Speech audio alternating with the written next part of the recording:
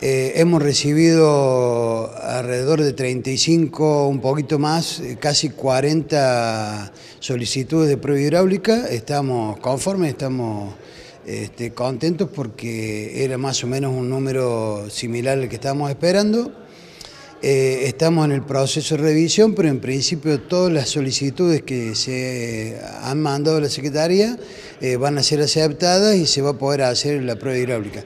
Eh, en este sentido nos parece importante que las problemáticas se trabajen globalmente de modo tal de solucionarlas en, todo el ámbito de la universidad. Eh, esta lógica de convocatoria la estábamos probando como una opción de trabajo para, hacia futuro, este, en principio con las... Eh, con los resultados que hemos tenido hasta ahora, nos ha parecido que puede ser una lógica interesante para aplicar en otro tipo de actividades.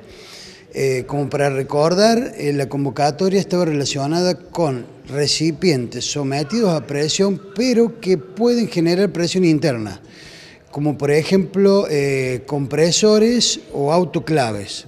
Hay algunos otros equipamientos donde también nos han llegado solicitudes de prueba hidráulica que reúnen las características que obviamente vamos a aceptar eh, y que no son exactamente estos dos. Bueno, un poco la idea era esa. De, en una segunda etapa probablemente trabajemos con aquellos recipientes sometidos a presión que no pueden generar eh, presión interna, como por ejemplo tubo de oxígeno o de algún otro gas especial utilizado en alguno de los laboratorios.